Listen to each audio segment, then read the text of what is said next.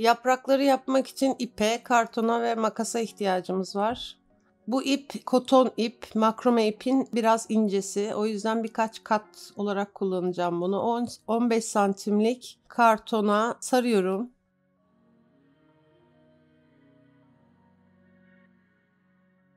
Kedimiz salçada bizi yalnız bırakmıyor. Bu ipleri düzgünce kesiyorum. Yaprağın ortasını oluşturmak için bir tane de uzun ipe ihtiyacım var. İki kat ip kullanıyorum burada. En başta düğüm atıyoruz iplerin kaymaması için.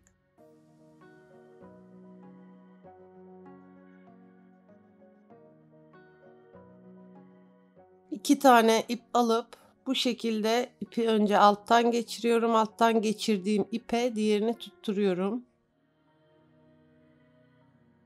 Bu sefer üçlü yapacağım. İlk ipi yerleştirdiğimiz yer düğümün olduğu yerden ipi yerleştiriyoruz.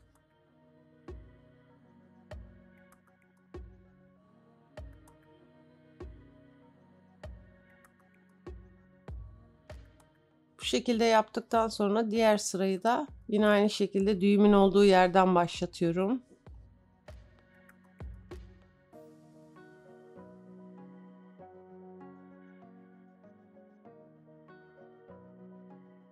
Görüntüyü yaklaştırdım. Umarım anlaşılır olmuştur. Vaktinizden çalmamak için bundan sonrasını biraz hızlandıracağım.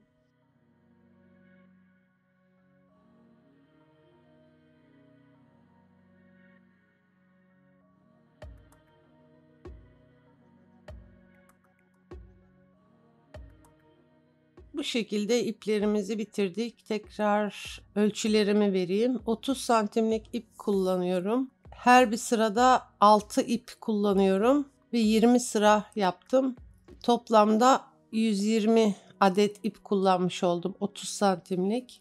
Burada herhangi bir ipleri ayırmak için tarak, fırça kullanabilirsiniz. Hangisi daha kolayınıza geliyorsa.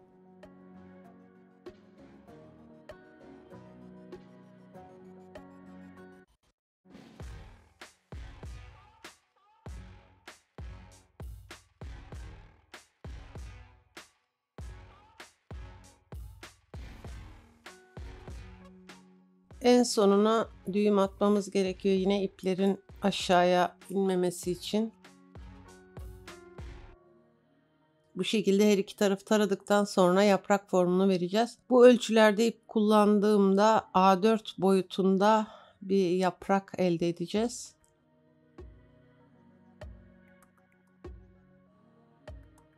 Kalıcı formu vermek için tutkal kullanacağım. Bu yüzden altına yapışmayacak bir naylon koydum.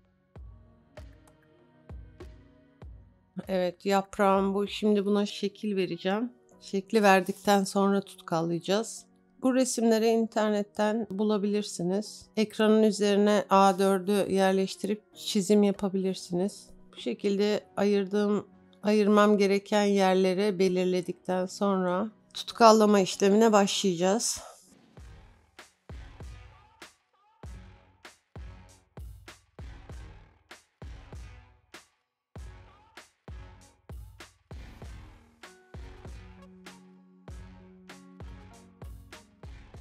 Bir saç spreyi kullanıyorum. Hafif bir yapışkanlık sağlaması için. Tekrar düzeltme yapacağım çünkü. Tutkallamadan önce iplerin kaymaması gerekiyor.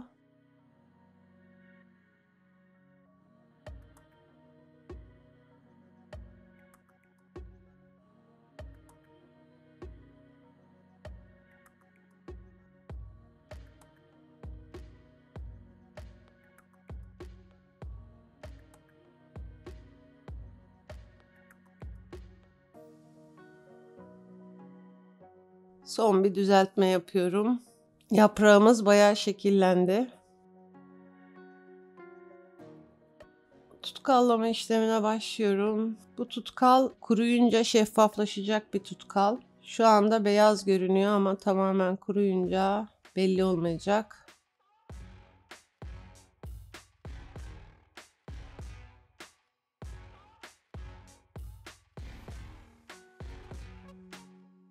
Hızlıca tutkalladım.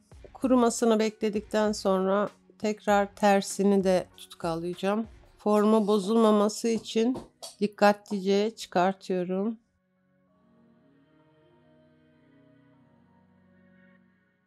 Tekrar ufak bir düzeltme yapıyorum.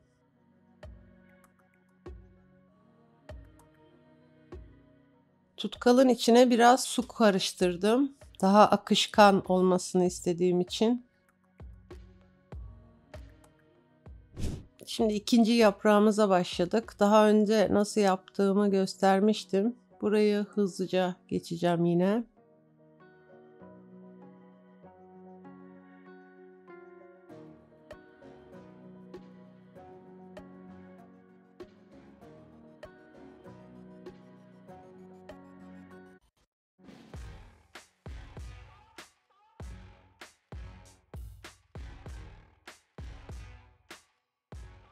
Bu yaprağım diğerinden farklı olacak. Şekil olarak benzeyebilir ama yine düğümümü atıyorum. Bu sefer sadece bu kalın tarakla tarayacağım. Sadece formunu vereceğim. Diğer yaprak gibi çok fazla taramayacağım. Aradaki farkı görmenizi istiyorum. İplerin düzelmesi için burada ütü ya da saç maşası kullanabilirsiniz.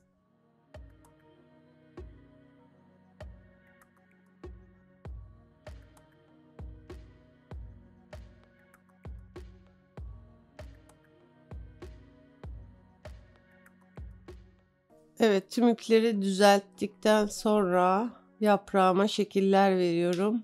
Daha önce yaptığımız yapraktaki tarama işlemi biraz zor. Bu daha pratik olacağını düşündüm. Bir de bu farklı yapımı göstermek istedim. Yine şeklimi veriyorum.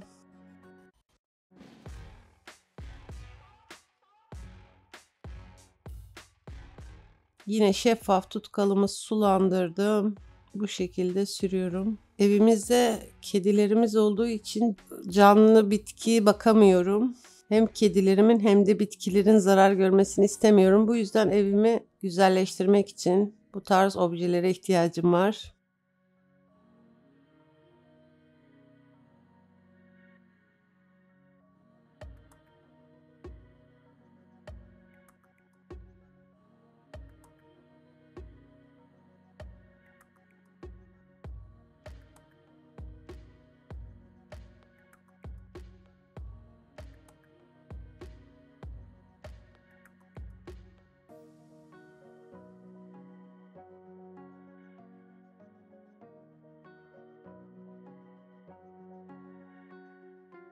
Dediğim gibi bu yaprak çok daha pratik ve kolay.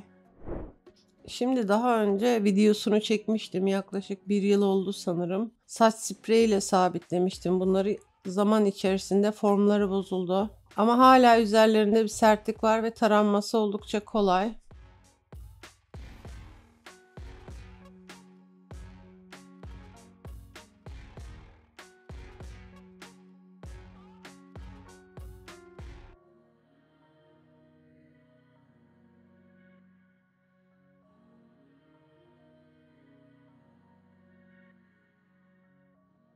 Şimdi bunları da yine bir kez taradıktan sonra tutkallayacağım.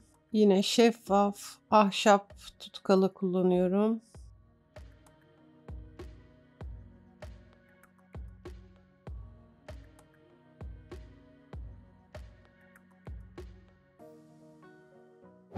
Üzerlerine asmak için de da daha doğal olsun diye bu dalları kullanacağım. Hem görüntüleri daha güzel olsun hem de e, bozulmalar olmasın diye. Zamanınızı fazla almamak için videoyu hızlandırdım. Umarım yeterince anlaşılır olmuştur.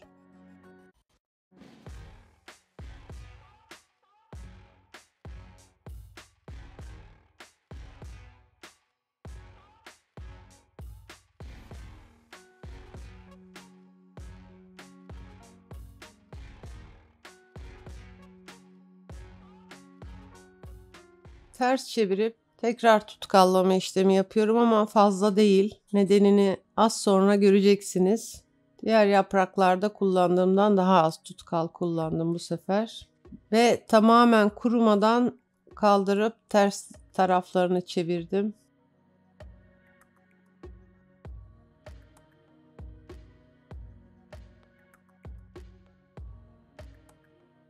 Hala bakın şurada beyazlıklar var. Onların şeffaf olması gerekiyor tamamen kuruduğunda. Burada kullanacağım yapraklar da bu şekilde. Bir kağıt bandı yuvarlayıp çift taraflı bant gibi yapıyorum. Çok fazla yapışkan kalmaması gerekiyor.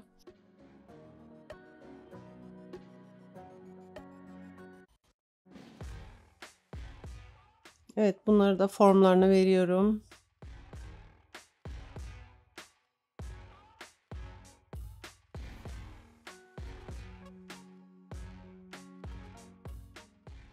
Tutkallarda biraz su karıştırdığımız için yapraklar kuruyunca biraz yamukluk olabilir. Bunları herhangi bir yatağın altına, döşeğin altına koyup veya kitap arasına koyup düzleştirebilirsiniz. Bu şekilde istediğimiz formu veriyoruz.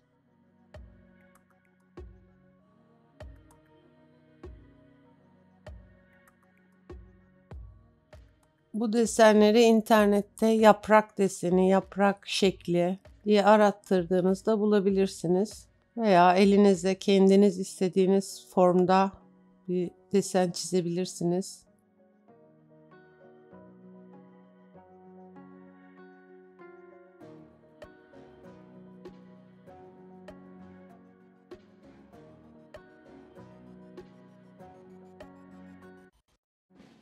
Bakın hala beyazlıklar var.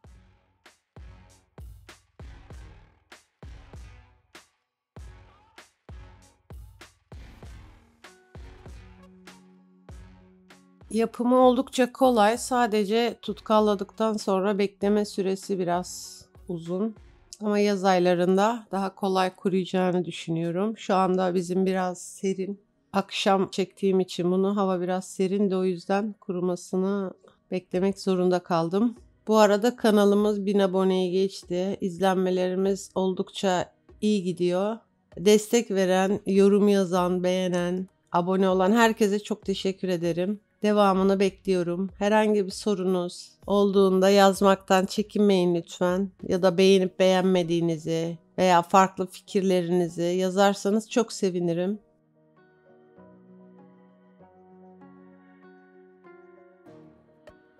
Evet son formlarımızı da veriyoruz. Düzeltmelerimizi yapıyoruz. Yapraklarımız artık bu şekilde ve artık bozulmayacak. Duvarda çok daha şık görünecek. Bu şekilde yaptığım ahşap çubuğa, ağaç parçasına hepsini sabitliyorum.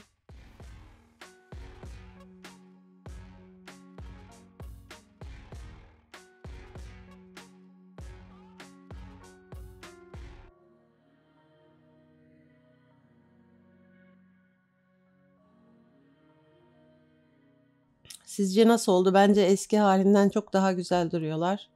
Şimdi diğer yapraklarımızı göstereceğim. Bunu bir gece bıraktım ve çok fazla ıslak tutkalla yapıştırdığım için orada öyle bir şey oldu. Bunu daha erken kaldırdım.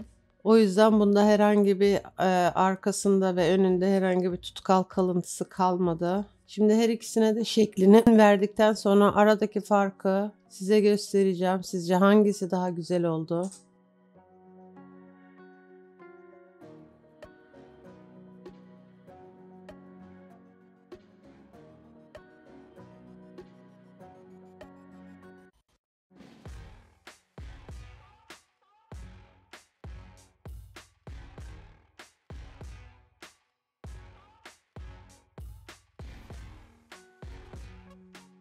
Bu yaprak çok daha basit. Çok daha az zamanımı aldı. İşte bu kadar. Bence çok güzel oldu. Evet bu diğer yaprağıma da bu şekilde bir form vermiştim. Şimdi etrafını kesiyorum. Yaprağımızın asıl şekli ortaya çıkacak.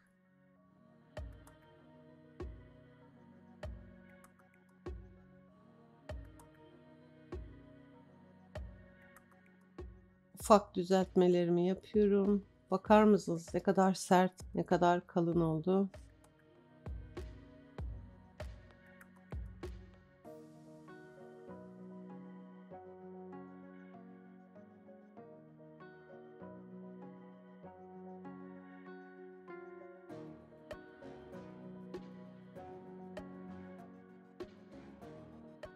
Sizce hangisi güzel oldu? Ben her ikisini de çok beğendim ama sağdaki kesinlikle çok daha kolay. Lütfen hangisini daha çok beğendiğinizi yorumlarda yazın. İyi ya da kötü yorumlarınızı, tavsiyelerinizi bekliyorum. İzlediğiniz için çok teşekkür ederim. Herkese esenlikler.